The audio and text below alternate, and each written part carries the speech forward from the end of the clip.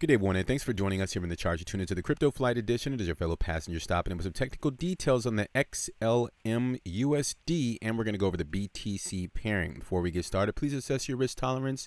Uh, this is just ticker symbols that we go over um, in the traditional and the uh, alternative markets. This is the alternative. This is a crypto, again, ticker symbol XLM USD. We're going to start with that. So again, these are volatile assets that can potentially go to zero. That's just something that we standard say on the channel here. Welcome back if you're loyal. New, new if you're new here, we'd consider hitting the subscribe button if you find any valuable information. So let's go over the lines. Let's go and dive right into the charts here, shall we? All right, so today's March the 6th, 2021, and the current price of XLM is going to be 41 cents. Okay, it's up approximately 2.5% for the day. Uh, it's fluctuating there. And I'm going to pull up our infamous lines. Here they are. That's it, really simple. Ladies and gentlemen, what you are looking at is the green line, which is only what we're going to focus on now because the red line, it's already above that level. So we're just going to focus on the green line, which is at about 31 cents. As long as this cryptocurrency can stay above 31 cents, then it's likely it will continue the trajectory. If you notice back here, these are weekly candles, by the way. All the way back in uh, March the 11th, 2019 is when it came out around 11 cents. And if you notice down here, I should have made like a little uh, inverted dome formation where it just made this little curvature area. This is all consolidation down here, right? and then it just consolidated and it broke out. Boom, really nice uh, moves to the upside. This is a result of the consolidation range as far as what I can understand in terms of the technical data. Uh, please be open to volatility. If the price just so happens, the cryptocurrency rather, just so happens to break down below 31 cents, you just have to be open to that. Um, but I guess we'll do a real, we'll do a revisit on this if it does break down below 31 cents. So let's just take this one step at a time. Uh, the the previous level of resistance is 31 cents. So if it stays above that level, then I don't see why it'd be an issue for this cryptocurrency to revisit the recent highs, which is currently at approximately 60 cents, or even obliterate that level. Because what's happening is the buyers have taken control of this market after the breakout that we just went over uh, near the uh, the level down here where they broke out is at 14 cents. So yeah, as long as it's well above that level, it's simply a result of the consolidation range and the buyers taking control of this market, which they've they've had control of the entire time. I mean, if you just kind of date back to this um, March 2019 over to like 2020, I mean, it just experienced some downward pressure from there, right? I mean, this is kind of useless information, but I just want everyone to be on the same page in terms of why the price action is kind of going to the upside. I mean, and if it continues its aggressive behavior and the thrust and ease to the upside, it's simply a excuse me, a result of a breakout of the consolidation range. I guess for me explaining that, let me just put a little area so we're all on the same page so you can actually see it. So something like this, and then you guys just kind of do something like that.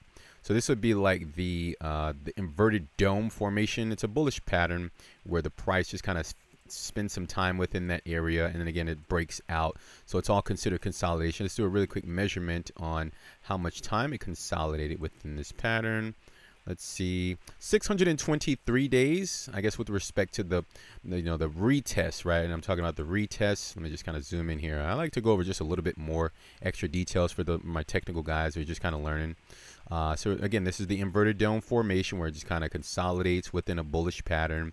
And then of course you get the breakout. And then when you get the breakout and you get the back test of the previous level of resistance, that's beautiful. That's so beautiful. It's basically confirming that the consolidation range is sufficient and the buyers are definitely able or able and ready to break out of the consolidation range and continue to thrust and ease to the upside. So hopefully that was a pretty interesting explanation. We got to get over to the BTC part of this. So yeah, we'll cut it out here. Uh, the XLM USD pairing, as long as it stays above 31 cents. Let me see if I can get a time frame going for you guys. Let's just say it gets pretty boring and it starts going sideways and it ends up all the way over to uh, June the 14th, 2021. I know bulls, it's probably not going to take that long. The markets are moving really fast. But just in case the buyers are seeking more financial support in this market, because if we kind of zoom in here, well, this video is going to be long. Uh, if you notice here, the last touch point on this yellow line here was November the 16th, 2020 at a price tag of about eight cents. And then, of course, another touch point here at uh, January the 4th, 2021, at about 13 cents. And ever since then, that financial support line has uh, boosted the price, or the cryptocurrency rather, uh, significantly high enough to find its own organic financial support. Assuming that it will continue and not seek financial support again at this yellow line and bounce and continue to thrust to the upside. If you hear any noise in the background, so apologize for that. Excuse the noise, just Mother Nature uh, stopping in here. So let's go ahead and see what we got for the XLM BTC pairing. Same lines, a little bit different. The yellow line is going to be descending here, but it appears that it is broken out above the yellow line. If you're, uh, you know, familiar with what we go over on the channel, you'll know that uh, it's pretty interesting price activity when it successfully breaks above and stays above this yellow line. It's kind of a breakthrough line. Now it's just near the critical level. I think it really needs, this is a really important time for this XLM and BTC. This is the Binance uh, chart that we're looking at. If it can stay above this red line, and if I can actually say the level there, it's going to be 765 Satoshis.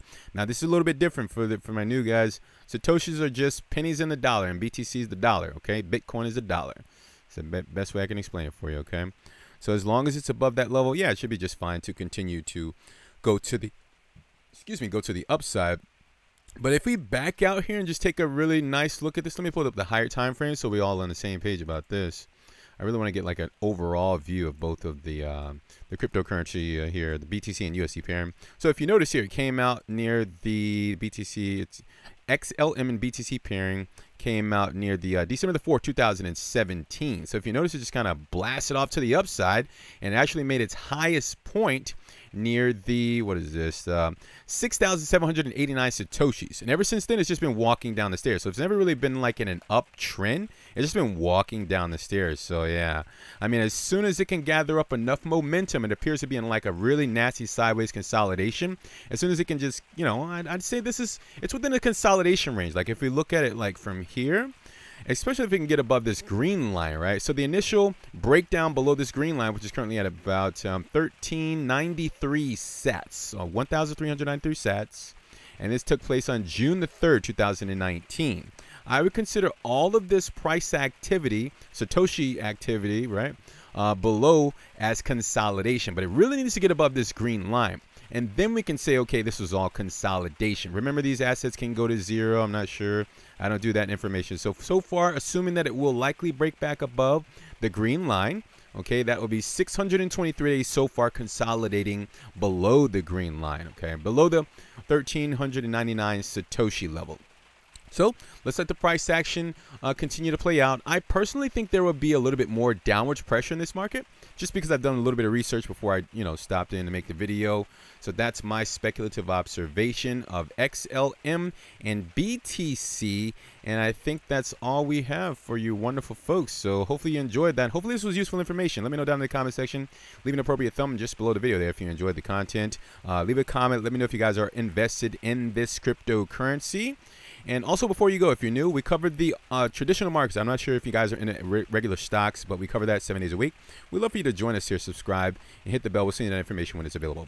And I think we have everything. Yes, good. Now we go. Take care of yourselves, protect your portfolio, execute your strategies. We're going to talk very soon, and bye for now.